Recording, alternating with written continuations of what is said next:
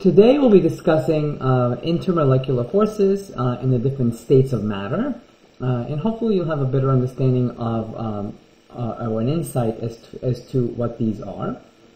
Uh, the we discussed some some gases in we did a gas chapter, so you have some understanding of the gas properties and what uh, how the molecules are arranged. Uh, today we'll focus a little bit more on liquids. Uh, solids are usually uh, the realm of material science, uh, which uh, you know you will take in upper classes, and we won't discuss it too too much here. I'll just mention it briefly whenever I, I can. As far as uh, the properties of these three different states, uh, some of these are quite intuitive and you probably know them. So the volume, for example, a solid retains its own shape. Meaning if you took um, a block of ice, for example, and you put it in a cup, it will still look like a block of ice. It won't, the cup you put it in won't really affect it. Uh, you know, same thing with any solid, really. A liquid will take the shape of the container it is in, but it will not fill it completely. So again, intuitive. If you put water in a cup, it will take it up until the level that you put the water in. It won't, it won't occupy the whole cup. A gas, on the other hand, will uh, move all its molecules around until the entire container is uniformly distributed with molecules or atoms or gas. Um, and uh, we say that it fills the entire container uniformly. Uh, so that's kind of intuitive. Uh, as far as compression goes, we talked about that a little bit in gases when we talked about work. Uh, we talked about P times the change in volume. You can actually compress a gas, which is the uh, the nuance behind pistons uh, and behind uh, a lot of engine parts. You can compress gases uh, and they can expand, and you can extract work from the compression extract from the compression and expansion cycle. and uh, we utilize that as, as need be. If you try to press on a liquid or a solid, they really won't compress much. Uh, so we say that they don't have any compressibility. Uh, as far as flow goes, we talked about that a little bit. Um, gases uh, and liquids flow, like water would flow, but also um, you know air flows, uh, and you know so that, that's kind of like um, uh, one of the properties of these two states, where the solid cannot flow uh, at all uh, because it is a solid, it's, it's bound by other forces.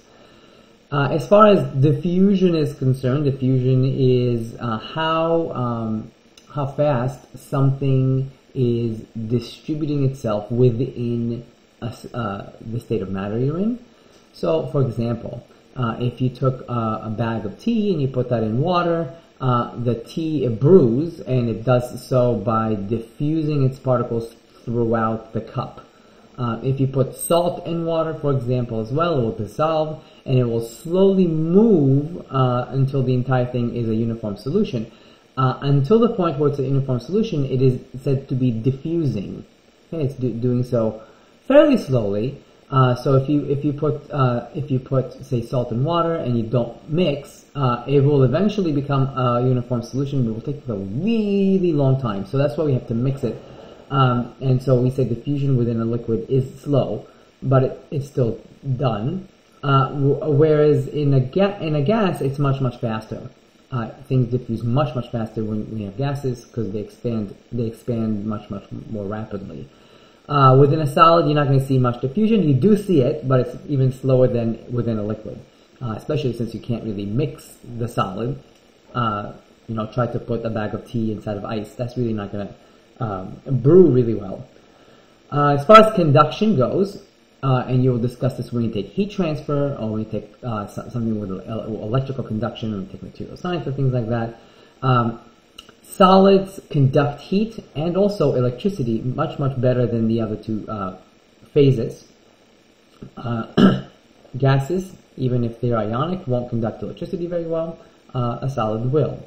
so really understanding the chemistry behind that uh, is is interesting and informative when you do take these upper classes. Uh, reactivity, uh, well, gases. If you make mix, if you mix two gases because they move so fast and diffuse so fast and do everything so fast, they can react much faster than uh, than say solids. If you take two solids that even even though uh, according to our formulas that we've done so far this semester should react, they probably won't react very fast. So, for example, we talked about uh, acids and bases, right? So NaOH, for example, it's a common base, it's a powder. If I were to mix it with another, um, with an acid that's a, that, that is a solid, uh, two solids by themselves, and I mix them, they might react, but it will take them forever to finish reacting. Uh, but as soon as I put them both in water, they will react pretty fast. Uh, so that's that's something that you know quite intuitive, but I'm just outlining it here for you. If you look at the picture here of how molecules and atoms are organized uh, within each state, uh, you may have also seen this in the past, uh, maybe not. A solid uh, is nice and tidy. The molecules are uh, tidily organized and they form these uh, beautiful patterns that when you take material science, you'll you'll um, explore much much farther. In a liquid, the liquid still retains some sort of organization, but it's much less neat. Uh, because the forces between the two blue circles uh, is still appreciable, not as strong as in, in, in the solid. In a gas, uh, as we approximated, the forces between the red circles um, are fairly negligible. Uh, and so they don't really have some any sort of organized structure. Uh, there is some, but compared to the solid and liquid, it's negligible. What really holds these things together, I want you to think of these as physical bonds. They're not really chemical bonds, they're physical bonds, and they're known as intermolecular forces. And they decrease as you go from a solid to a gas, as you can see. Uh, and another term for these are cohesion. Uh, they it's a force that makes them cohesive. And to understand cohesion, if you think about uh, you know you and you and your friends, uh, you form you form a cohesive unit, right? Uh, it's you know a word we use in English to mean uh, sort of like bound together. That's what cohesion means, uh, and it's the same in uh, in chemistry and in physics and engineering. We call these things cohesive forces, cohesion, uh, forces of cohesion, and things like that. Uh, and in this chapter, we'll mostly call them intermolecular forces. Okay, and let's explore the various facets of intermolecular forces. There's a whole bunch of them. Okay, they're much much weaker than chemical bonds. So the bond between, say, for example, H2O, the H and O, is much, much stronger between the H and the O inside H2O than between a water molecule and another water molecule. Um, so intermolecular forces, weak, intramolecular forces, very strong. They're very strong, call them bonds, we have to break them. Intermolecular forces, much, much weaker, we can break them with our bare hands. We don't have to do any chemical reaction to them uh, to break them. Okay, there are two major classes. I'm going to call intermolecular forces IMF from now on. Uh, I mean, I'll, you'll see this every once in a while, but I'll mostly call them IMF, intermolecular forces. Uh, and their two major classes are, well, are the two things charged or they're not? So say, for example, water. Two water molecules are not charged, so will fall in the uncharged species. NaCl, NaCl is charged. So when I'm talking about uh, the interaction between NaCl, between two NaCls, uh, it will be uh, IMF involving charged species. Okay. Uh, so let's first talk about the uh, the charged species, the ions. Okay. So let's say I have two things here, one that's positive and one that's negative. Uh, as you as you remember, positive and negative attract, positive and positive repel, and negative and negative also repel. So we will uh, we will just we will try to quantify the attractive force between a positive and a negative, uh, and it, there's there's complication there's complicated equations to, sh- to show this. We're not going to really delve into this.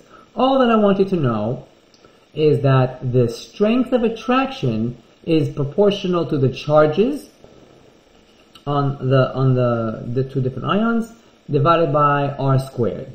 Okay, when you take physics, you will see this equation again. We talk about gravitational forces. Very similar. I'm not going to go into this much here. Just it's a very similar equation. Okay, of all the IMFs that we'll be discussing, and we'll be discussing another five or so. Uh, these are the strongest when you have ions. They're very very strong because they have charges, uh, and uh, the attractive force between two, a plus and a minus very very strong compared to what we'll see later. Okay. Uh, and I'll go over an example using this uh, right now. Let's say I wanted to arrange the following uh, molecules in order of increasing intermolecular forces. Okay, and that's, that's a theme you're going to see a whole lot in this uh, chapter, organizing things in order of intermolecular forces. Okay, so we have calcium chloride, sodium chloride, and aluminum chloride. And I want to know which one is the strongest. Okay, so as a reminder, uh, the attraction, the attractive force, is proportional to the charge on ion 1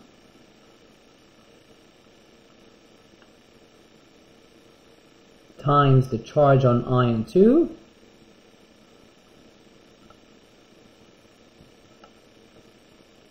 divided by the distance between them squared. Okay? Now, I say here in red, well, for me it's red, for you it's orange, uh, that the distance between the ions is constant. So I don't care about this r squared. It's going to be constant for all three. Okay, so it's really, I'm going to look at the numerator. Okay, let's look at this. Calcium chloride, well, that's calcium chloride, if you remember from um, naming, that's what this looks like, uh, which means calcium here has a charge of plus 2, and chlorine has a charge of negative 1. Alright? Uh, if I look further uh, at the other two, I have NaCl for sodium chloride, and this is plus 1, and this is minus 1, and uh, lastly I have aluminum chloride, okay, uh, and chlorine again is minus 1, and aluminum is plus 3. Okay, since the R is the same, I'm going to neglect it. And I'll say that the attraction here, let's call it ATT for, I have to write attraction, it's kind of long. Attraction for each one of them is proportional to the charge on ion 1 times our charge on ion 2. So fairly simple, 2 times 1. So the answer here will be 2, whatever. uh, there's no units because it's just proportionality. Here it's 1 times 1. Uh, and the answer here is 1. And here it is 3 times 1. And the answer here would be 3. Okay? Uh, and just note I'm taking the absolute values. which is the 3, 1, 2. I could say that the force between aluminum chloride here is 3 times as much as it is in NaCl. I could say that if the distance is the same. Okay, so if I'm organizing them from weakest to uh, strongest, it will be like this. NaCl is the weakest, followed by calcium chloride, followed by aluminum chloride. Uh, and so that's that's that. So that's hope, hopefully was fairly simple. Let's move on to uh, the other type of ionic uh, attraction or intermolecular force. And that's what happens when I have an ion and something that's not uh, an ion. Okay? So let's say, for example, I have water. We talked a little bit about dipoles, and you know, let me just switch over here just for a second. So in water, we talked about this uh, in previous uh, chapters, when we talked about chapter 8 and 9 in geometry. We saw that water was bent, right?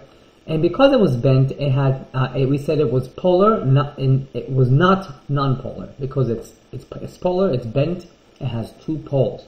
And what we said about the poles is that each pole, sort of like the north and south pole on Earth, has a charge associated with it. And we talked about electronegativity as well.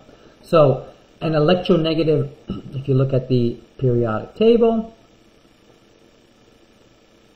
uh, very, very crude periodic table over here. We said that electronegativity increases this way. Okay, increases, meaning that I will tend, as, as an atom, an atom tends to grab more electrons the farther up and right it lives. Okay, since oxygen lives here and hydrogen lives here, Oxygen is much more electronegative than hydrogen. meaning oxygen will pull more of the electrons towards its side. So if I were to draw this thing sort of like this, right, where the H's are here and the O is here, and I were to call, say, um, this negative and this positive, okay? Uh, very, very qualitatively, what would happen is because oxygen is more electronegative, it will grab more negative towards it, and it would look like this. That the positive is more here, you know, and the negative is more here. What does it mean? It means I have two poles. it means that uh, essentially this area of the boomerang looks more negative, and this these two areas are more positive. So if I have an ion like Na plus or something like that, that's coming uh, and seeing water, what would happen is it will make water reorient itself. So the boomerang faces, I really am terrible at drawing, so excuse me. The negative side is gonna is gonna be facing towards Na plus because negative and positive attract.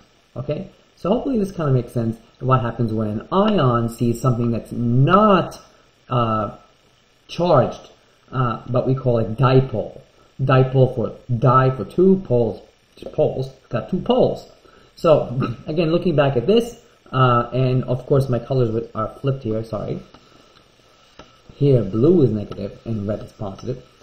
Uh, and so you can see that the blue is going to be attracted to the positive side of uh, to the positive of the uh, the ion that's positive here it's going to orient this ion, uh, this dipole this way because the ion is positive. Okay, uh, it's just it's just a reorientation. And I'm not going to use this formula. We're not going to do this at all in this class. I'm just showing it to you for your interest. There's a moment. It's called a dipole moment, and it's equal to the charge times the length, the separation between them. So here's the separation between H and Cl. I can, I can measure this distance, uh, and I can do a charge, charge of an, of an electron, for example multiply them and I get a dipole moment. It's very similar when you take physics um, and we take statics to moments and moments of inertia and things like that are very similar in scope. We're not going to do this here. I just I'm just showing it to you that there is this thing called dipole moment that quantifies how strong of a dipole it is. Don't worry about it. Just worry qualitatively about the I just drew before. Okay, this is weaker than ion-ion interaction. Yeah.